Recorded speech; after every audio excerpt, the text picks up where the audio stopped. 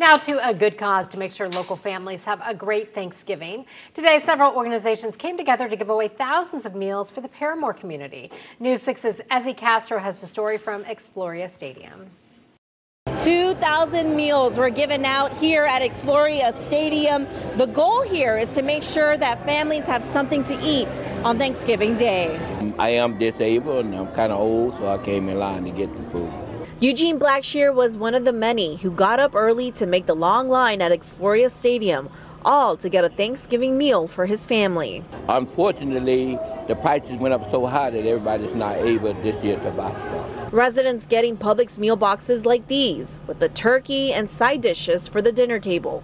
All of it free. We think about inflation, uh, uh, affordable housing being unaffordable, and those that have been impacted in the area by Ian, you know.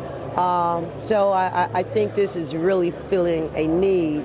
And even through the struggles, it's the smiling faces that mattered the most. This is a wonderful day. I love Thanksgiving, and when the community comes together and has a collaborative effort between Commissioner Hill, the City of Orlando, Orlando City, and Orlando Pride, and the Salvation Army, we're a better community. In Orlando, Ezzy Castro, getting results, News 6.